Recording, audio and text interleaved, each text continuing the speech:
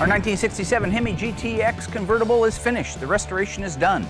There's a little bit of detailing left on it, and the owner is flying in from Las Vegas to check it out and drive it for the first time since it showed up at Graveyard Carz. This time on Graveyard Carz, the Ghouls test drive prolific Mopar collector Brett Torino's 1967 Hemi GTX convertible.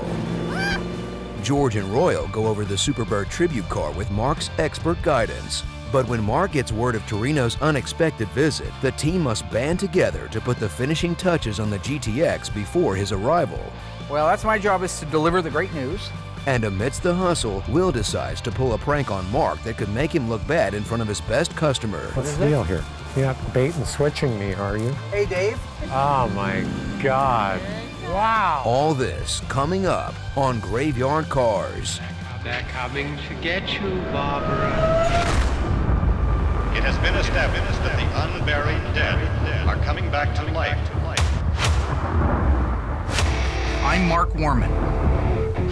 And together we bring dead muscle cars back to life. To exactly the way they were on the day they were born.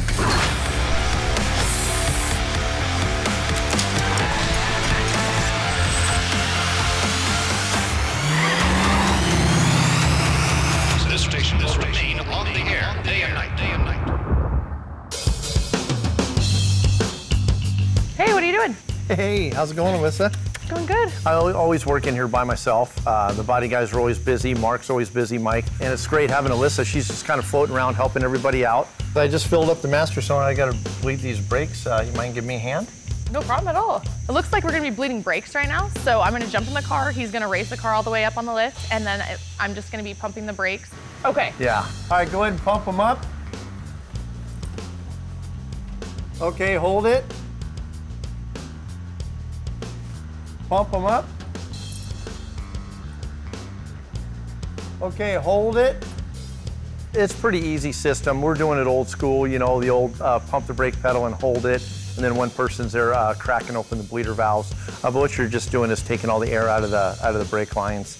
Uh, so you usually start at your far end, you know, your longest line, and once you get fluid there, then everything just kind of falls into place and work from your, you know, your rear end to your front end. This 1967 Hemi GTX convertible is owned by Las Vegas developer Brett Torino. Over two years ago, Brett commissioned Mark and the Ghouls to disassemble, replace, and fix previous patch panels and bodywork, with key instruction to keep the original Survivor interior while sprucing the ultra-rare car with new chrome, new trim, and new glass. The suspension was detailed to OE perfection. The transmission was rebuilt by Brewers, making this 1967 Hemi GTX nearly brand new. While Dave continues bleeding the brakes, Mark and the Ghouls go over the aftermarket Superbird conversion parts. I've already inventoried and made sure everything's here. Everything in this kit came so that you could convert this car into a Superbird. The Superbird that we brought out right now is our Alpine white one. That's a real car sitting next to our Tribute Superbird. The Ghouls have been hired to convert a 1970 Plymouth Roadrunner into a Superbird tribute car. While an original Superbird is based on the Roadrunner body, significant changes had to be made, such as the use of a coronet hood and fenders, an aerodynamic nose cone, flush mount headlights and backlight, and of course, the famous NASCAR-inspired adjustable rear wing. To make the transformation successful, the team will put their skills to the test by utilizing a donor 1970 Roadrunner body. Additionally, our top vendors will be called on to help, and specialized Superbird parts from Winged Warrior body parts will be a necessity. Meanwhile, in the assembly shop, Dave and Allysa continue work on the 67 Hemi GTX. On this particular model here, uh, we got a four piston caliper uh, with disc brake setup. Really cool system. Back in the day, four piston, it was kind of ahead of its time, I think, because now, you know, with some of these tricked out uh, systems, they got six and even eight pistons. So it just shows that Mopar was kind of on the right track as far as performance goes. A lot of the later model Mopars, they all switched over and they went to a single piston. This here gives you a little better performance because with multiple pistons pushing in on the pads, gives you a nice even uh, braking pressure on the rotor, gives you a lot better performance. With a single piston, usually got one piston moving, it's actually sliding the actual caliper itself on the pads and applying just kind of uh, an uneven type of pressure. But this four piston just shows uh, a lot more uh, performance quality in, in the braking. So. Uh, but far as performance, you know, obviously you can see in some of these, uh, you know, exotic cars right now, they got these multiple piston calipers. So it just goes to show that the multiple piston is obviously going to be a better performing brake. Uh, Mopar, it's good to see them uh, on the right track all the way back in 1967 because you got all this horsepower, this 426 Hemi engine. You got to have some stopping power too. So that's it. Yeah, hey, I'll see you later. Wait, don't forget about me. Back in the graveyard, Mark continues to satisfy George's curiosity about the front end of the Superbird. When you walk out into this yard and you have a question, that's the answering machine. It's just like 411, except it's real. You don't got to dig through a book. There it is. There are a lot of other intricate pieces that make up the headlight buckets and the rotator assemblies and the braces. They're all here. But primarily, what you've got to be aware of right now are the provisions and the changes that you got to make to the body before it goes into paint. All right. You're going to want to take the nose cone. Once these, once you are ready to bolt this onto it, you're going to want to pre-fit that nose cone before they ever start doing body work on it. Before they start doing mud, it needs to be fit. But there's your one, two, three. That's your Superbird one, two, three, and you're welcome. Cool. I'm here to help you be a better body man and a better friend. Are you curious about anything out here right now? Are you curious about anything? No. Now that Mark has resolved all curiosities with the Tribute Superbird, Dave has moved the Hemi GTX convertible outside to test the motor. Yes, we're ready to start this mother humper up. All right, Ready? let's do this. Nope. So we're good. I'll watch the oil light here. And Oh, look at that. Oh. perfect. Wow. Not bad. That sounds good. It does Fire sound right pretty up. good. These have mechanical rockers in them. That's what all that rattling is. Yeah. I know. I got a screwdriver if you need one, boss. Do ya? Yeah, you know. I know those cars are probably gonna need a little tweaking, I'm sure. Huh? Yeah, I'm sure. What are you guys doing? He's adjusting the air fuel mixture on them. Allowing more air in? Yeah, so I mean it doesn't have the air cleaner on it too, which Well, it doesn't sound bad. Sounds like maybe a, a hair retarded, maybe. yeah. On the engine portion of it, that thing ran really good. If you recall, he was threatening my life if it didn't run exactly the same as it did when it was here and if it didn't sound exactly the same. So I made sure we didn't touch any of that. I got my audio boy out back recording it. We're recording that mother blanker in stereo. This is a stereo microphone recording the audio levels. Our earlier one was not a stereo. This breaks down each cylinder for you. I'd like you to listen to this audio. Exactly. I think that uh, it sounds exactly like it did before. Reminds me of my rapping days. Turn my headphones up, man. 184365572, 184365572, 184365572, 184365572. I can actually hear the cylinders firing. Sounds good. I can't hear the cylinders firing. Allysa, give it a little throttle. Hey, just give it a little bit. Rump, rump. Just, just not, don't hold, yeah, just some little stuff like that. Ah, sounds nice. That does sound really good. That's horsepower. Yeah. I loved revving it up and sitting in the GTX. But could you feel the power? Well, yeah. I mean, could you feel that rumble right there? That it's, Oh it's yeah, I mean right you can now. even at your- feel it in the steering wheel. That's what happened to every guy in America and half the women is they get behind that and you get that thing under your foot and you're never the Oh same. man. And you're gonna get in trouble because Yeah. Yeah, you're hooked. yeah, you, know? you just want Yeah, to you're hooked. Yeah. see what it can do. It sounds good. It does sound really good. I see what he's saying now about the exhaust. Exhaust sounds nice. That's all horsepower right there. Feels a lot different than driving my Charger. Shut her off. Kill it. Nice. Oh, see, there's our Yep, diesel. there's a little bit of diesel. Little so bit I might of- have a little bit too ri- heavy on the timing, but that's all right. We can figure that out. Yep. What does this say day for? We drive this car every Day and night, it'll actually change the position of the mirror at nighttime so the headlights won't blind you. That's cool. Yeah, yeah, what an awesome cool car. Stunning. Anyway, phenomenal job. High five. Allysa, you did a good job putting the interior Yeah, in and did. helping him. So right now I'm getting ready to call Brett Torino. Uh, we've been through all of the systems. Everything is right on the car. Everything has been checked from the back bumper to the front bumper, so it has passed our QC. So it's time for that call. Hello, Hey, is this Brett? this is Brett. Just got off the phone with Brett Torino, and I want to be Brett for a day. He's everywhere. Don't think for a second he's not in the air. He's in the air. Because I say, Well, hey, Brett, this is Mark at Graveyard Carz. he says, oh, I thought I might be hearing from you. I heard through the grapevine. You might be calling me. How does he know? Because he has people everywhere, I'm telling you. That's why he's Brett Torino and I'm not. Anyway, uh, he didn't know for sure if it was done, so I told him it was done. He's very excited. And I said, I guess then the question is, you know, this is all on you. Um, we'd love to see you tomorrow, but um, well, how about the day after tomorrow? Are you serious? I'm dead serious. Who gets to do that? The day after tomorrow. The guy's a get it done guy. I totally respect him. So, yeah, well, I know you're not as excited about that as I am. It was kind of dropped on us, you know. I mean, it's nice to have that little bit of a cushion into where when you're working on the car. But yeah, I am nervous because I mean he's Torino. You know, regardless of how ready we thought we were for him, it still definitely puts the pressure on knowing he's just two days away from being here. Yeah, yeah, it's kind of scary. Because if anything goes wrong at all, I mean, we're gonna be screwed. Yeah. Well, that's my job is to deliver the great news. Oh, that's uh, nice. No, no pressure. Don't worry about it. I'm sure it'll all work out in the end. Oh yeah. Well, Uh, if you need me, I'll be upstairs asleep. okay, sounds good. All right. Plymouth Superbird tribute car is now ready with all of its basic structural metalwork done to come off of the frame jig, get moved over to a rotisserie so we can do the Superbird conversion work to it as well as the mud and the finish work on it. That means we have a car ready to go onto it, our 1970 Plymouth Roadrunner. Uh, lemon twist yellow, 383 four-speed. It's got the original engine, non-original transmission. Uh, looked pretty nice at a glance, but once you start looking at it a little closer, you realize it needed the restoration. That's what we're getting ready to do.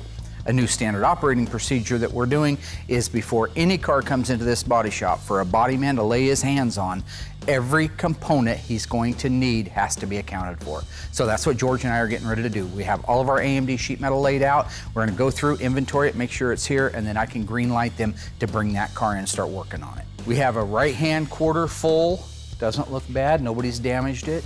Got a rear body cross member. You got your trunk floor extensions, you got your Dutchman panel, nice rear body panel, look at that. I love that they punched the actual holes for the word Plymouth in there. That's really cool. You got your step wells, you got your bumper reinforcement, you got your upper deck package tray reinforcement, you got your vertical lock support for the trunk, emergency brake bracket guides. Every single part is here that I ordered, every single part I could think of that we would need. While they're cutting the car apart, they'll be finding anything that we don't have, and I'll have everything out here in three to five days from AMD. So I think you have everything here that you should be green light go anytime you want to to put that together. Okay. All right. So with all that, the body guys are green light go. Pull the other Roadrunner in and start moving to the next stage.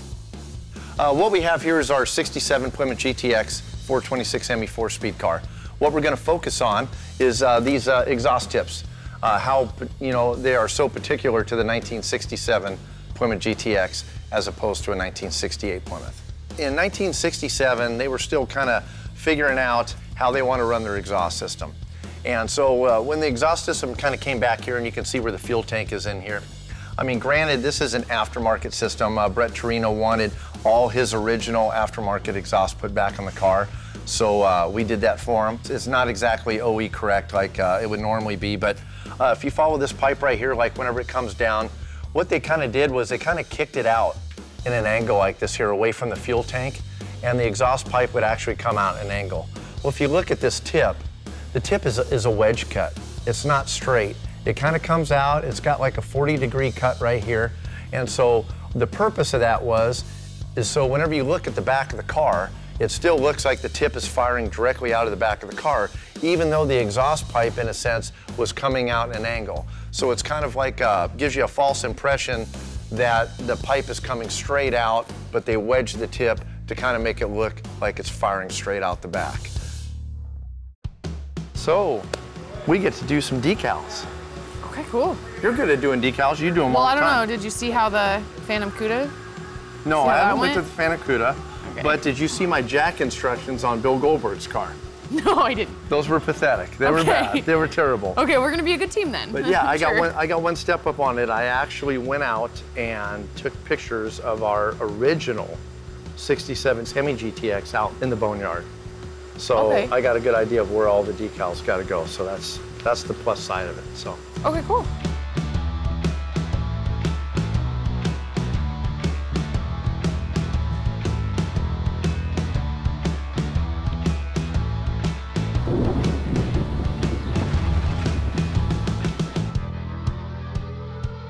This is one of our first real nice days we've had in a while. So we're gonna do our last minute check, button up, make sure it's ready for the road, do our parking lot test, then take it out and go do some damage. Can't wait. So I'm excited, yeah. I mean, it's the first time we've actually driven that car. I didn't even drive it when it came in here, so I'm looking forward to it. Not every day you get to drive a, a 67 GTX 426 Hemi four-speed convertible. Okay, Amazing. I'm gonna fire it up. Okay.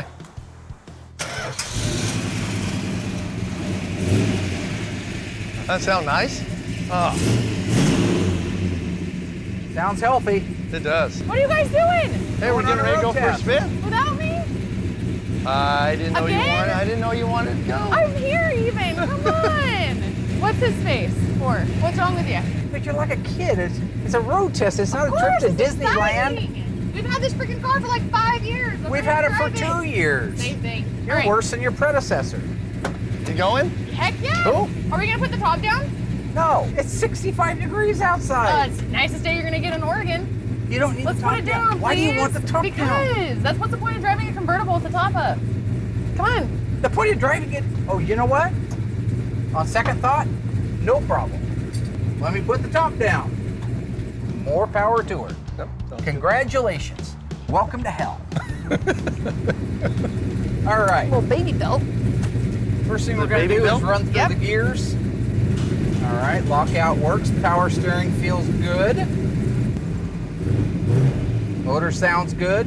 Now, Brewers rebuilt this transmission. Did they? They've been doing all of our gearboxes, and they are the most joyous things in the world to drive. I mean, just like that right there, just drops right in. Yep. The synchros no. are nice. Yep. Oh, how nice is that? Oh, got some power, don't I?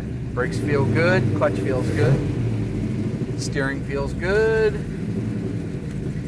Boy, what a difference between driving this and Goldberg's. Oh yeah, that no Oh, power steering dang. thing. I mean, Oh. Look at this. One finger, boom. Not sure. I'd have to Yeah. test drive it to put my opinion out there. there, Ah, that's what we call a schnorkeler. Snorkeler. A little schnorkeler. Take it out. Right.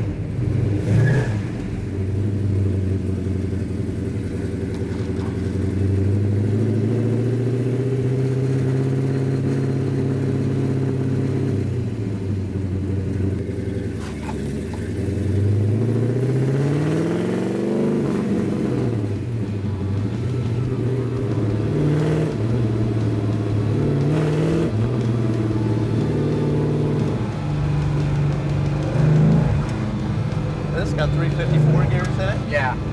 Well, it's tight though. Good gear ratio, man. It Oh, pulls yeah. good, doesn't it? Wow. You let off and it chirps. Turns out, yeah. Guys, I can't even see. Stupid.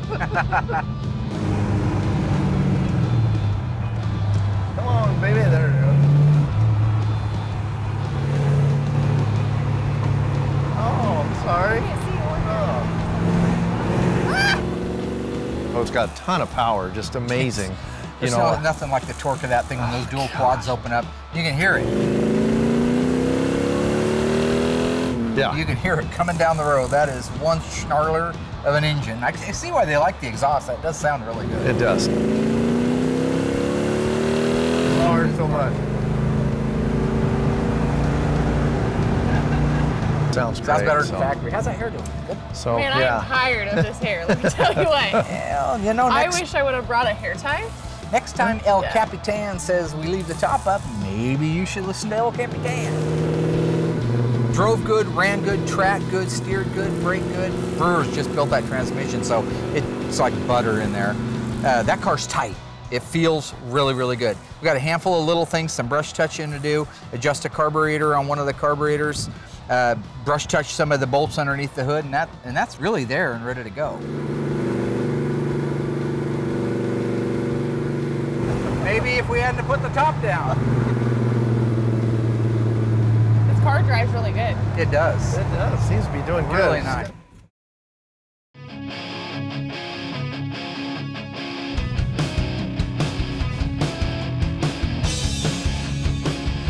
I like to take the wax off last minute. Um, if I take the wax off now, I'm gonna come in tomorrow, it's gonna have dust from the body shop or dust from in here or camera boy's gonna scratch, something silly will happen. So I just last minute take the wax off, everything's perfect, wiped down, and looks as best it's gonna look.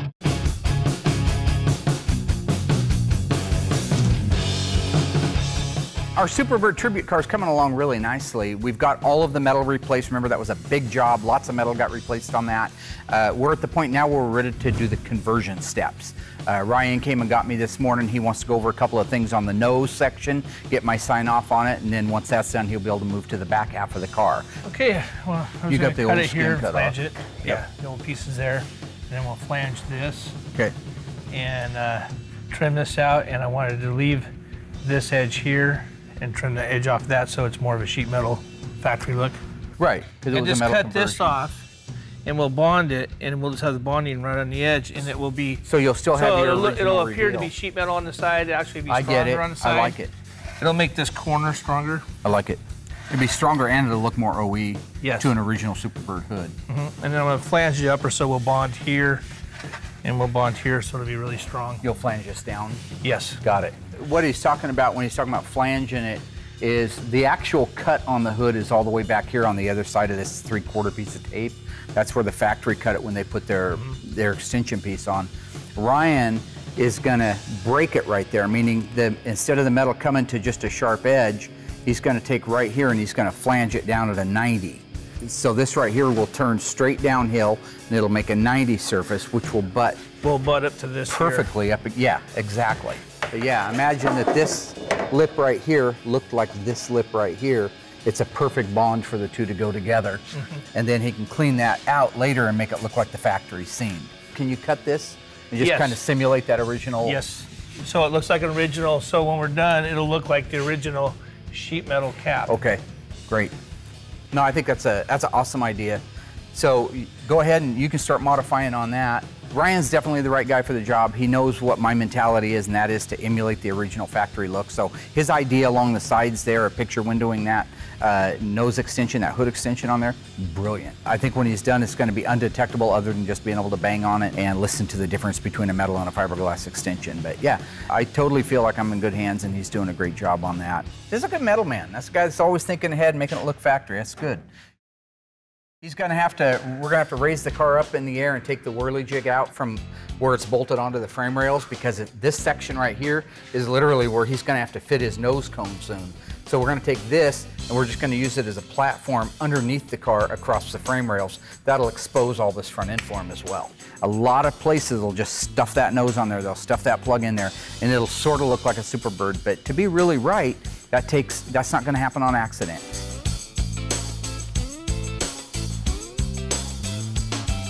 That's really a pretty color. It is. This whole thing's coming out. Coming out really nice. And see, I'm not insulting you. You notice that?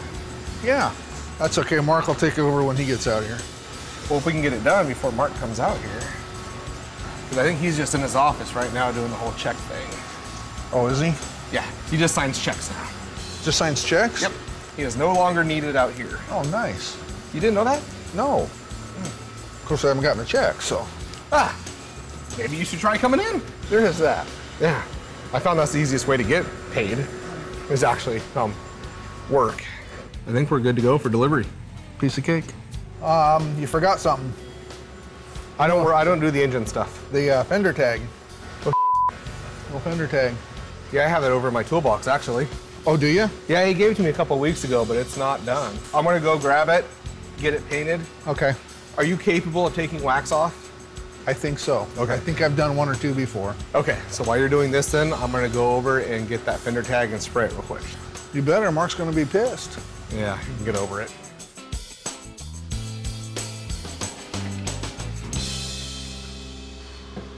Well, I have two. You know what I should do? So what we're talking about inside is the modifications that a Superbird went through when it was at the factory, okay? The hood that we've got inside is a donor hood that I bought separately from Tony's Parts back there. It had a nice used hood that would work perfectly, and that's what the factory did. This is exactly what that hood looked like before Ryan did some cutting on it. The modifications happened somewhere through this area right here. That's why you saw that area exposed.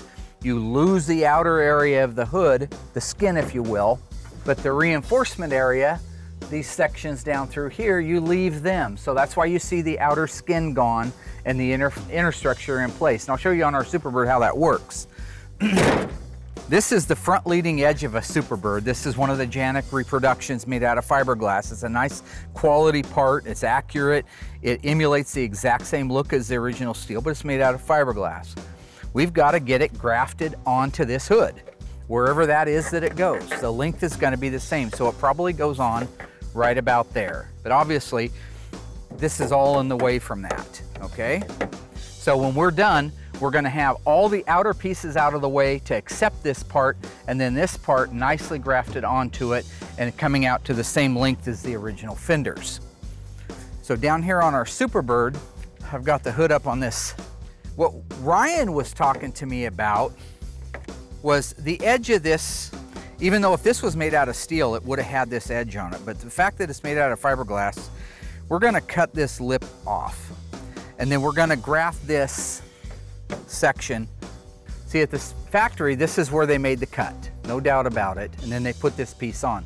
This piece is steel, so they were able to weld, as you can see right here, and here's a spot weld and here's a spot weld, this extension piece onto the original inner structure. Well, you can't weld fiberglass to steel. So we're gonna leave this part of our hood all nice and original, and we're gonna come along and cut right there and lay our piece into it. Match it up to the same height as the hood, and we will have extended original coronet hood to look like a Superbird hood inside and out. So if you popped it up and you looked on the side, he's also gonna make these same cuts after he's done so that really, unless you did the Andy Crandall tap on it, you wouldn't know the difference between the fiberglass and the steel. So that's what he's working on doing right now.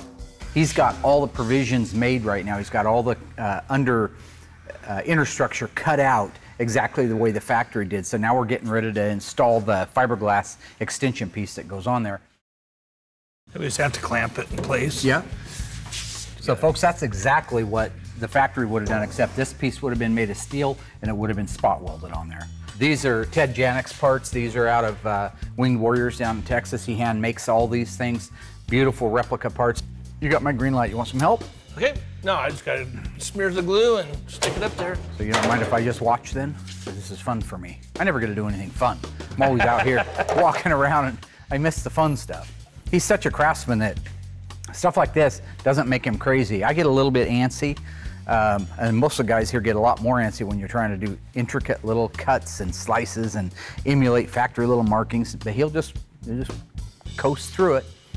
Like those little Pac-Man ghosts, you know, little Pac-Man ghosts are just always going around, they're just floating everywhere. And my man Ryan, Pac-Man ghosts.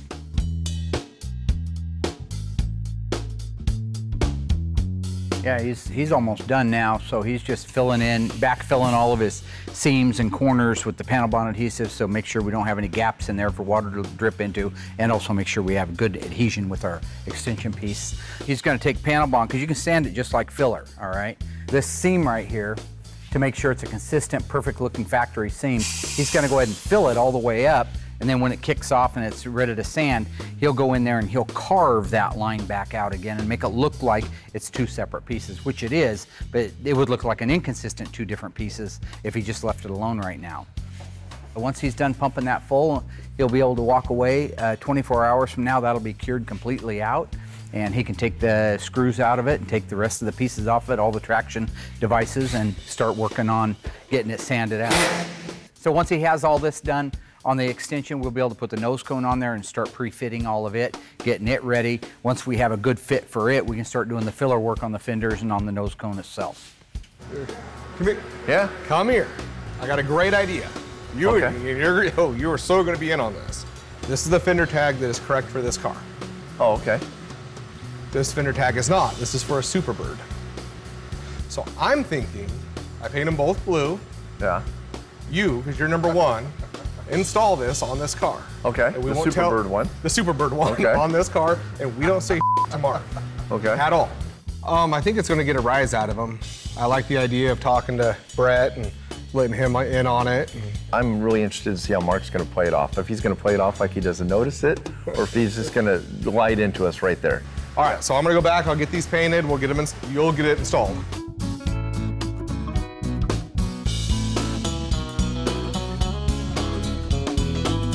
Mark's never even going to notice. He, I don't it think does- so I don't either. Yeah, as good as his eyes are now, anyway. You know. Oh, Yeah. this is going to be great. This is going to be good. Oh, he's going to be upset. Our 1967 Hemi-powered four-speed 354 Dana blue on blue GTX convertible is completely done. I mean, restored, detailed, sitting out back waiting for its owner to show up. That's where we're at right now. Everybody's excited about Brett showing up. Yeah, I met Torino on his last visit uh, with Elsa, and they're awesome. I can't wait for them to come to the shop and check out their car and just visit with them. Honestly, they're such cool people. By and large, I think it's a beautiful job. But uh, at the end of the day, only Brett's going to be able to tell us what he thinks of it. And he's the owner, he's the one that's the customer, he's the one that's right. And here we go into the uh, Taj Mark Hall, I call it. Wow. I'm Brett Torino. Uh, several years ago, I brought a car up to Mark. I can't wait to see it. I miss it. It's a beautiful uh, convertible Hemi 4-speed GTX. One of my favorite cars of all time. Yeah. Mark's Hi, World. guys. Mark's World. Yeah, there's Melissa. Yeah. yeah, he's really nice, really down to earth, easy to talk to. You got my cars. Oh, we do. Yeah, have one really that's cool. done. Yeah, one that's done. Worth the wait. Excited to be here. I think that this moment right here is one for Brett that he'll remember as well because it is his favorite car. It is done right. He'll be able to enjoy it, maintenance free, have fun, have a ball in it, and truly get back to, I think, the appreciation he had for cars when he first started his collection. Ilse and I were watching television one night, and I just saw this uh, crazy guy on TV, this amazing personality who was a perfectionist, had incredible knowledge, and I turned to Ilse and said, I want to meet this guy. I want him to do several of my cars. So we have a 1967 Hemi GTX four-speed convertible that is restored quite well. And, and I will remind you, just as I already know you know, um, certain little things. Like how it sounds. The exhaust is exactly the I'll way be it did hearing that car before I see it, right? I, I know the I know the whole routine. right, Mark? Okay, Yes, sir. I'm, everything's going to work out. there was a recording made, some decibel printout or something that had I don't know if something got to do with, you know. Do you want me to send it to NASA? I'm telling you, I did my best, all right? It sounds the way it did before. So we're gonna bring you guys out back, have you wait, and I'm gonna bring the car around the corner and let Better. you see it for the first time in three years. It's worth the wait. Well, thank you very Now that Brett and Elsa have met the ghouls, Mark escorts them to the graveyard to reveal Brett's ultra rare, one of seven, 1967 Hemi GTX convertible. So excited. Been a while since you've seen it, huh? Too long. Way too long. I'm gonna line you guys up here. Bing, bing, bing. My bing, reaction bing. is, where's the car? I, well, I, I didn't want to spoil you when I came around the corner. All right. It's my only It's one. your only one. That's right. I thought you said that's what he was. oh my You sure you're ready? I mean, we can go do I'm something ready. else. No, come on, bring it out. I'm here to help you. You believe that, don't you? Come on. It's gone. No, there it is. He Brett seemed a little excited. I mean, he was glad to see everybody and meet and greet, but I think he really wanted to see the car.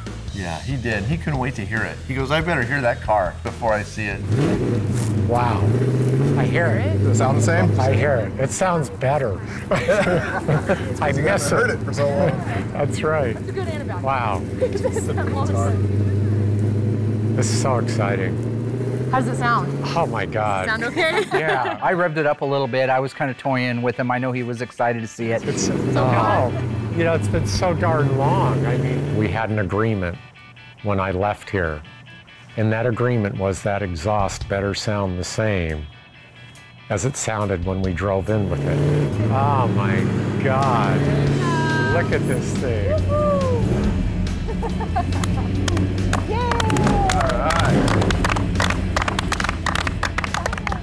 I knew that when I went around the corner and saw the smile, pretty much I was out of the woods. It didn't sound any different. Happy to announce.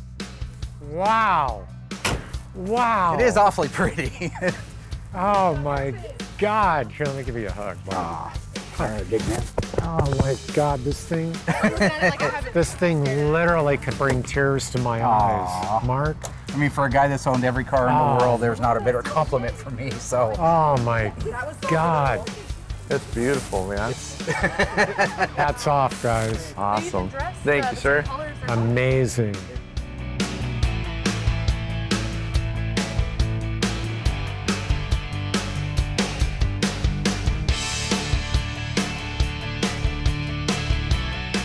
thing about uh, the GTX 66, 67 year model is that the cars were just big, elegant, simple cars.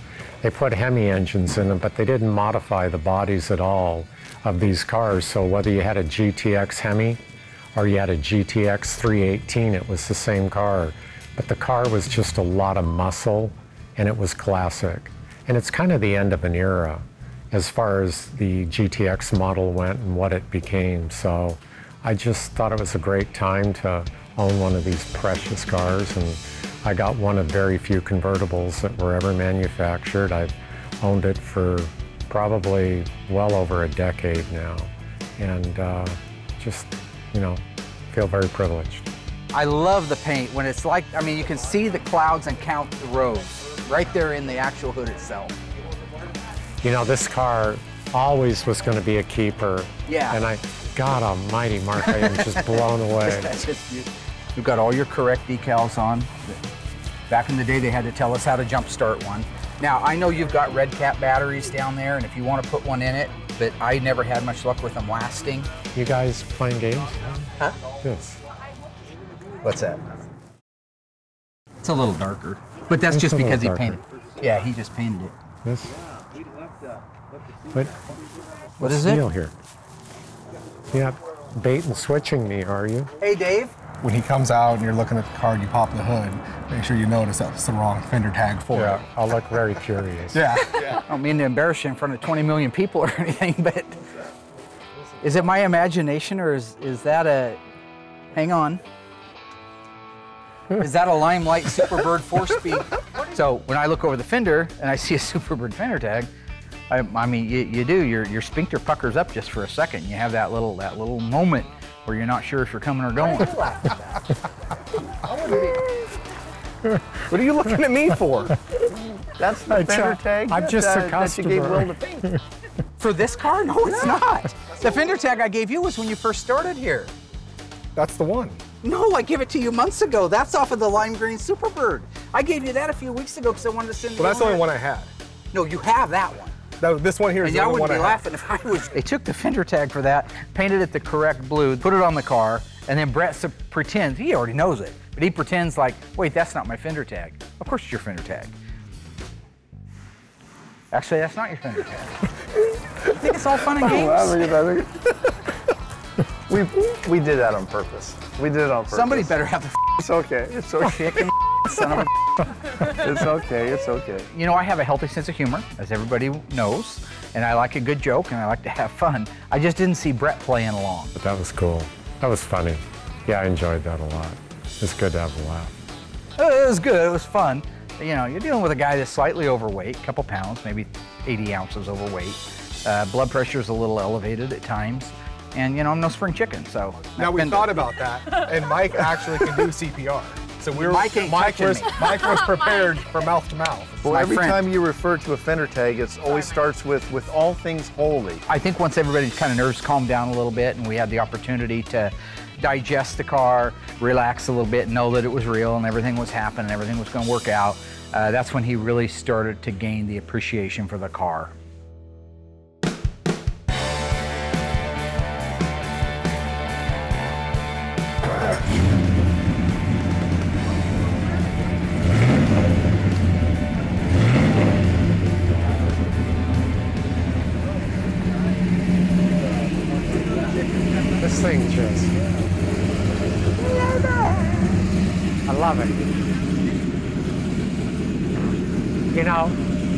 Not want to have. I mean, this sounds so great. Oh, it sounds car. so It's just, tough. I hate to say that, but you know, and it's it's always run. It's always I mean, been the a good driver. It's just you turn the key, the thing starts, it Yep. goes. It's always been that way. That's awesome. I've got something This that sounds just you love it. oh, it's poetry. So yeah, Getting this is live. art. Now that the GTX is on the short list to be the next poet laureate, let's take a look at what the ghouls got done this week. Dave and Allysa completed the brakes and decals for Torino's Hemi GTX. Yeah, this looks great. So those are those ones. So that looks nice. Mark and Dave tested the engine in the graveyard, and at Allysa's insistence, Roe tested the car with the top down. I can't see or hear anything, so. The ghouls got a lesson in aftermarket Superbird parts. But there's your 123. That's your Superbird 123. And you're welcome. Cool. And speaking of birds, George got everything together to commence work on a 1970 Roadrunner. Uh, looked pretty nice at a glance, but once you start looking at it a little closer, you realize it needed the restoration. Brett Torino flew in for the reveal of his one of seven ever built 1967 Hemi GTX convertible. Will Dave and Royal recruited Torino to help to pull one over on Mark, testing his observation skills and his blood pressure medication. But now that Mark has survived his employee's prank, it's time to see if he can make it through the test drive. So with the systems check, the sound check, everything as systems go, it is time for the road test with Mr. BT Batrino. Yeah, I can't wait. This car will get driven. And I wanted it to be able to be driven, you know. It, it wasn't restored to uh, park it in a building and stare at it. I want this car to be driven, and it will be driven. It's a great day. You know, I know my GTX has been here several years, but for me, getting the car back right and knowing what I get back, you know, it's worth the wait. You know, I, I wouldn't want a car back that wasn't perfect.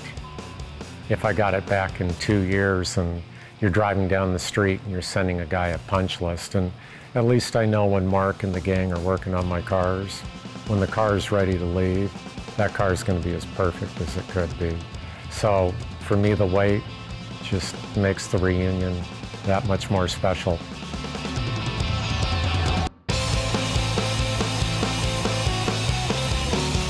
The test drive went great. The car sounded great. Everything went absolutely perfect on it. No problems, no errors.